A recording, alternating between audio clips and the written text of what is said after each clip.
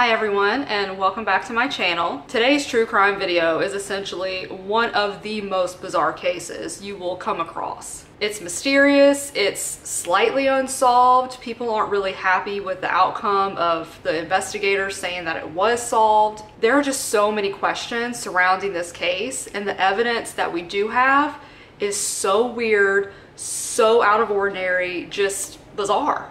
If you know this case, you know exactly what I'm talking about, but if you don't know about this case, you are about to be blown away and you'll probably be scratching your head at it in this video trying to figure out what exactly happened. So in today's true crime video, we are going to be talking about the extremely mysterious case of Elisa Lam. So let's get into who Elisa Lam was. Elisa Lam was a 21 year old student who was actually from Canada. She was going to the British Columbia University in Vancouver. In January of 2013, she decides to take a trip to the continental US, specifically on the west coast, to just go on this long journey, this large trip. She specifically wanted to go to the large cities on the west coast of California. And this was actually a solo trip. So she was going on this very long trip all by herself. Elisa was actually really active on social media. She had all her social medias very public. She even had a blog that she wrote about. It was more a little bit of a journal. So when it came time to this West Coast solo trip,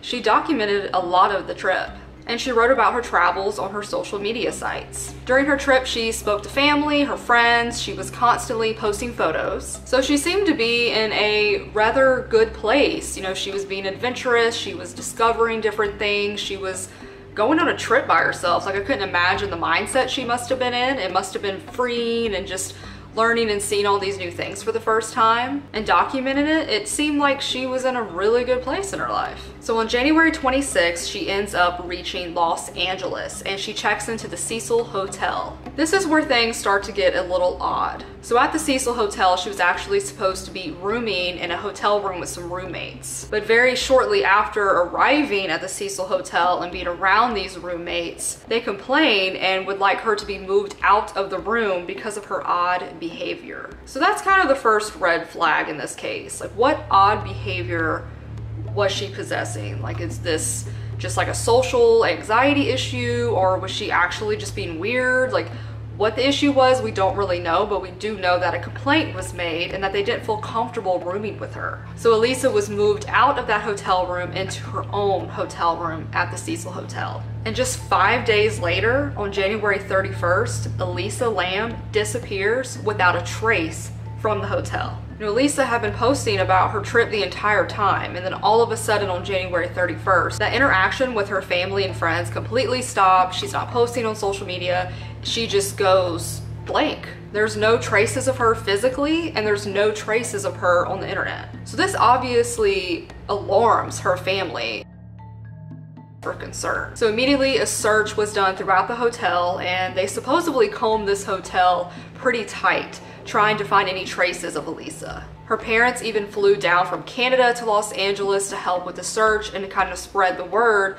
about her missing appearance. But unfortunately, there was zero evidence for anything of Elisa. And granted, you know, she was on this trip alone, so she wasn't with friends or she really wasn't with anybody that they could rely on. And there were zero witnesses. They kind of put out to the public, you know, this is a missing person, showing Elisa's picture and trying to get the word out to see if anyone has spotted her. The only information the police come up with is that on that day, on January 31st, Elisa did go to a bookstore down the street from the hotel. And when they talked to the store owner who interacted with Elisa, he said she came in and acted like nothing was wrong. She didn't seem scared. She didn't seem in any sort of distress. So that just kind of raised even more red flags. And then the whole situation with the roommates complaining about her. The police are just looking for answers, not only to figure out what happened to Elisa, but also for her family.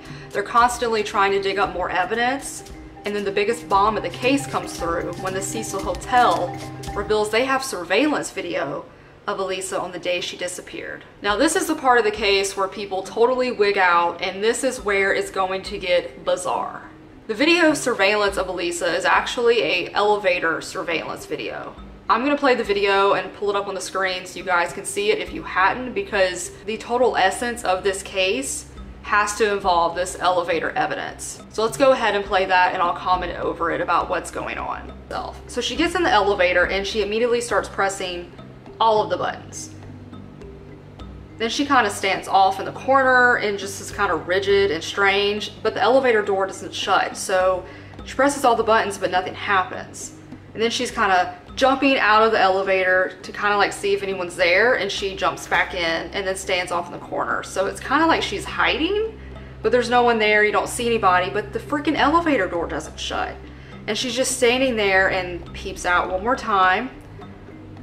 You see how she's like trying to be like secretive about it, but she doesn't come in like running. It doesn't look like she's in distress. She just is doing these very weird things in the elevator. And see how she like jumped out all of a sudden? And she's doing these very weird like foot movements, like doing like a square dance or something.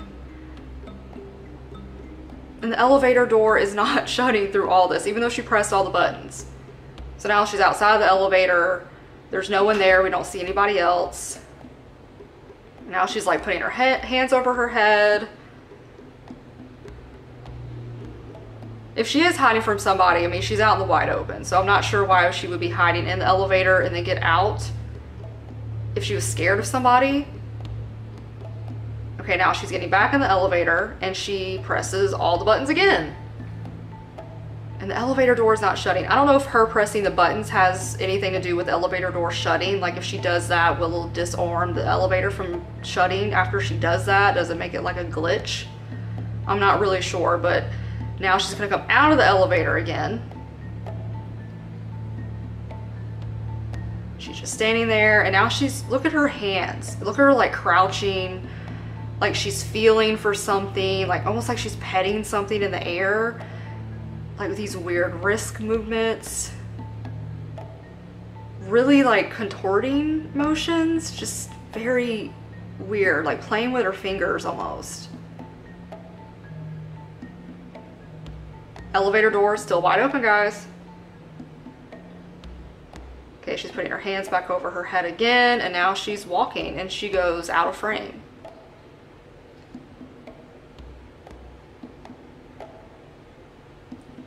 Elevator door still wide open.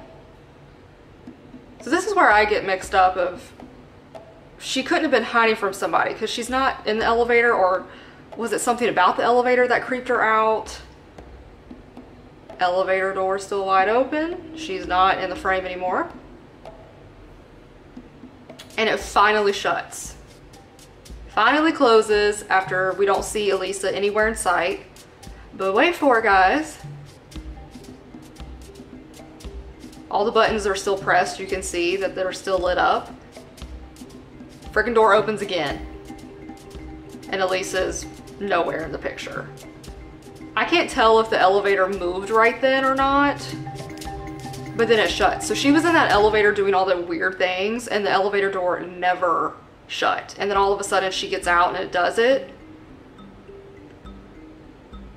Just very bizarre, very strange surveillance video. You can actually see the entire surveillance video on YouTube. I'll link the video down below if you want to check it out yourself, but the elevator door ends up going to other floors.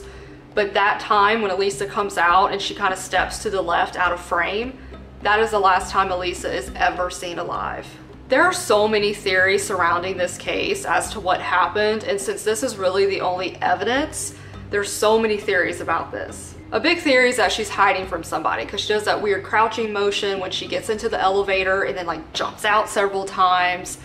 But I don't really know because if she was hiding from somebody and wanted to use the elevator as like a secure room or as like an escape. She didn't like run in there like distressed. She didn't seem scared. She gets in and kind of just goes to the back and stands so like rigid. And then she starts acting weird and starts like jumping out the elevator back and forth. And then the weird like hand motion she uses weird me out and just how she could like kept putting her hands over her head and then it looked like she was petting something. Like I am more of the way that she may have been drugged or took some drugs, some psychedelic drugs maybe, anybody can agree on that that is not normal behavior. Nobody that has been putting all their stuff on social media, we kind of know her personality and what she usually does based on that. And obviously for her family, it wasn't normal. Like that was not the normal Elisa. So the police released this footage and people are spooked and the theories start coming out of everywhere because this is the last time she's seen alive. They still don't know what happened to her after this. This is all they have. So what in the world happened to Elisa after she got off that elevator? and what was even happening on that elevator. So at this point, it has been three weeks. It is now February of 2013.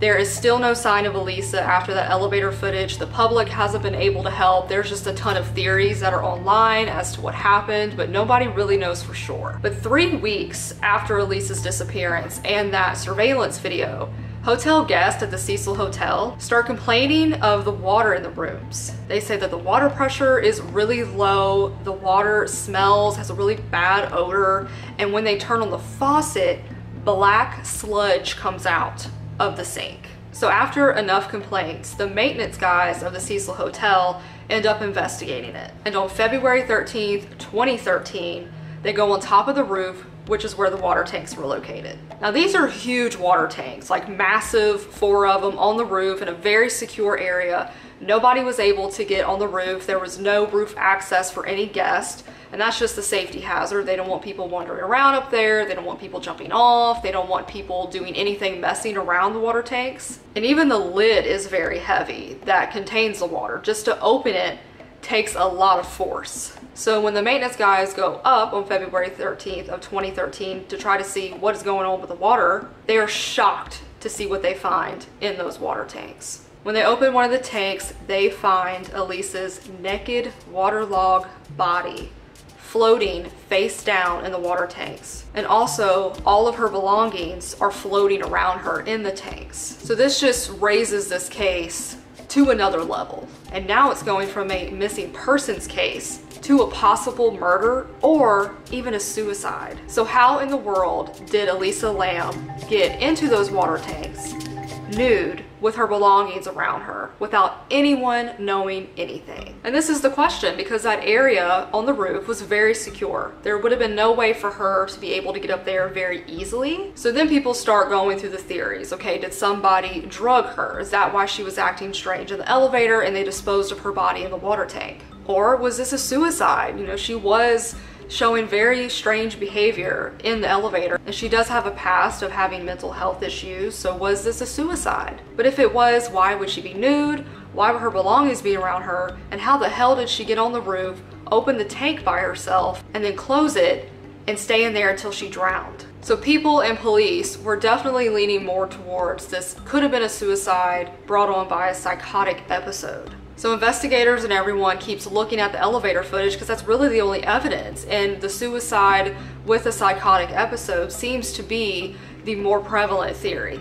And also in the past, you know, Elisa was very active on social media. Elisa did talk about her depression on social media and her blog. Elisa actually suffered from bipolar disorder and took medication to help with it, and also depression medication. She had talked about this on her blog in the past, but before her trip, she seemed to be doing well with it. So it was very confusing of that she would just have this psychotic break staying at the Cecil Hotel. So with this being such a bizarre case, I think everyone was waiting on the autopsy results. But the autopsy results didn't come back for four months. That is a very long time for autopsy results to come back. It's usually very quick because people want answers, they want the case solved. Four months seems like a long time. When the results were released, it was even more confusing people were going with the idea that this was brought on by drugs, that this was something that she took and caused her to have that psychotic episode in the elevator, which caused her to end up being put into the water tank by herself. But there were no drugs or alcohol found in her system. And there's a bunch of theories with that. You know, maybe she took a drug that did go away before they did the autopsy. Maybe it didn't stay in her body because maybe it was a drug that they don't normally test for. It could have been a natural drug. It could have been something she got off the streets in LA.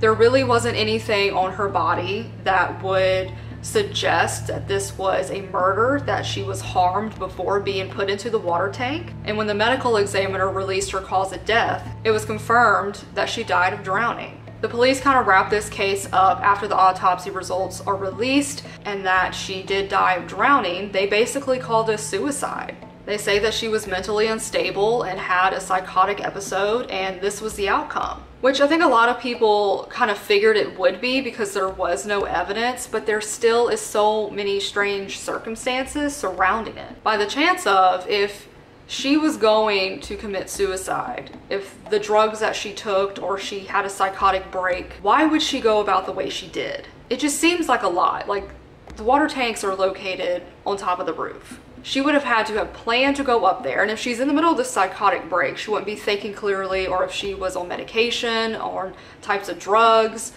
I don't know if she would be able to maneuver her way and to get to that secure area. I don't know why she would get undressed and then do everything she could to open the lid. The lid of the water tanks were no joke, like they're heavy. So she would have to have picked them up, jump in there or throw her belongings in there, jump in the water tank and then close it knowing she would never be able to open it and just stay in the water tanks and drown. It just seems like a really roundabout way to commit suicide, to go that far, especially if she was somehow able to get on the roof. Why wouldn't she just jump off the roof?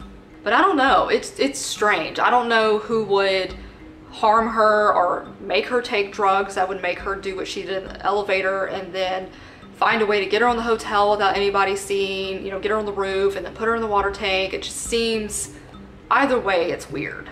But the police closed this case, but as you can tell by the elevator footage, there's just so much more to this case that people think that are more theories on the internet just that don't believe that she committed suicide by this. The Cecil Hotel is an infamous hotel in Los Angeles. A lot of stuff has happened there. Like serial killers have gone through there. There's just been a lot of strange circumstances. So a lot of people believe this as paranormal that maybe the elevator was possessed because when she walks into the elevator, it doesn't look like anything's wrong with her. Could this be supernatural? Could she have been possessed by something in the Hotel Cecil? She only started acting strange and stopped posting on social media and speaking to her parents when she checked into the Cecil Hotel on January 26. So could it be supernatural? It's anyone's guess. Elisa's family did end up filing a lawsuit against the Cecil Hotel for the wrongful death of her daughter. In their investigation, they did check the roof right when she went missing, so I'm not sure why they didn't think to look in the water tanks. Maybe they thought that the lids are too heavy, nobody would be able to get in there. I'm not really sure, but they were not impressed with the police investigation of this case and that they thought Elisa should have been found a lot earlier. Especially when you have guests complaining of the water. I mean, when you think about it, people were drinking out of the water Elisa's dead body was floating in for three weeks. That is so disgusting that people were drinking that water. There's not a lot of evidence to this case, guys. It's just bizarre. Like, I cannot say that enough times in this video. You know, did she do this to herself or did it involve drugs? Who knows? Or was it even something paranormal? But at the end of the day, Elisa Lam is still gone. She was 21 years old at the time of her death. And the police deem this as solved, but her family and a lot of other people won't ever believe that. I'm not really sure what I think. Every time I look at that elevator footage, I just go back and forth. But I'm very interested into seeing what you guys think, especially if you've never heard of this case and this is your first time seeing the footage and hearing of Elisa Lam. But that is it today for me, guys. Thank you so much for watching. Please subscribe if you haven't already so you don't miss any videos here on my channel. And I will see you guys in my next video.